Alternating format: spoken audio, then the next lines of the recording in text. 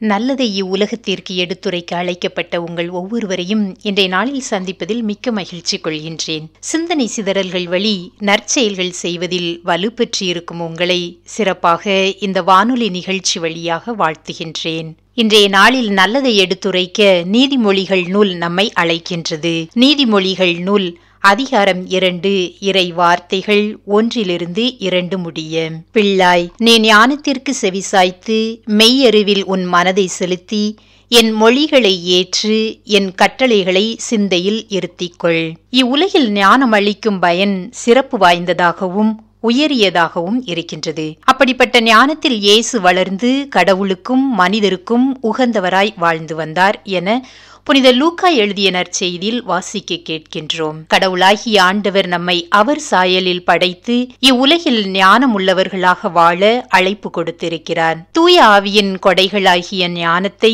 உறுதி பூசுதல் வழியாக நமக்கு உறுதிப்படுத்தியுள்ளார். அதை இன்றைய நாளில் பயனுள்ள விதத்தில் பாதுகாப்புடன் பயன்படுத்திட நீதிமொழிகளின் நூலின் வழியாக மீண்டும் புதுப்பித்துக் கொள்ள நமக்கு அழைப்பு விடுக்கப்படுகின்றது. ஞானத்தின் வெளிப்பாடு வாழ்கின்றவர்களோடு அன்பு பரஸ்பர உறவு மனித நேயம் தூய்மை கொண்டு தொடர்ந்து வாழும்போது ஞானம் நம்மில் உருவெடுக்கிறது. நம் அனைவரிடமும் ஞானத்தின் உறைவிடமான இறைவன் குடிகொண்டு வாழ்கின்றார் ஆகவே நாம் அனைவரும் ஞானம் நிறைந்தவர்கள். அதை வாழ்வில் பயிற்சியாக தொடர்ந்து செயல்படுத்தும் போதுதான் வளம் பெறுகின்றது.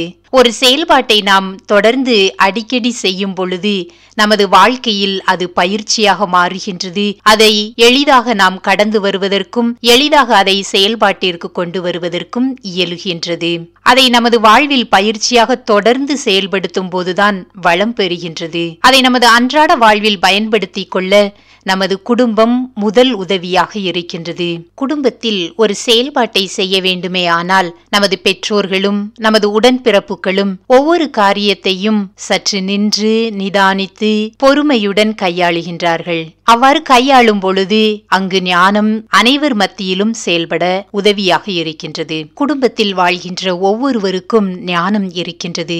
அந்த ஞானத்தை நாம் பயன்படுத்தும் பொழுது நம்பிக்கையுடனும் மன உறுதியுடனும் இருப்பதற்கு உதவியாக இருக்கின்றது. ஒருவரை ஒருவர் நாம் வளர்த்தெடுக்கின்ற பொழுது தூய ஆவியின் கொடைகளை நாம் மற்றவர்களுக்கும் பகிர்ந்தளிக்கின்றோம். அவ்வாறு நாம் பகிர்ந்தளிக்கும் பொழுது நமக்கு தூய ஆவியின் கொடைகளாகிய ஞானம் தொடர்ந்து பொழியப்பட்டு கொண்டே இருக்கின்றது. அதில் நாம் வளர்ந்து கொண்டே இருக்கின்றோம். ஒவ்வொரு குடும்பமே திருக்குடும்பமாக வாழ்வதற்கு ஞானத்தின் வழியாக இறைவன் நம்மை ஆசிர்வதித்திருக்கின்றார். ஆகவே அனைத்து குடும்பங்களிலும் உள்ள நல்ல குணநலன்களை அவர்களது பண்பு நலன்களை நாம் கண்டுகொள்வதற்கு நமக்கு ஞானம் உதவியாக இருக்கின்றது. அப்படிப்பட்ட ஞானத்தை நாம் கேட்கும் பொழுது நாம் நிறைவாக பெறப்படுகின்றோம். இதைத்தான் யாக்கோப்பு எழுதிய திருமுகத்தில் அதிகாரம் ஒன்று இறை வார்த்தை ஐந்து இவ்வாறாக கூறுகின்றது. உங்களிடையே குறைவான ஞானம் கொண்ட உங்களிடையே குறைவான ஞானம் கொண்டிருப்போர் கடவுளிடத்தில் கேட்கட்டும்.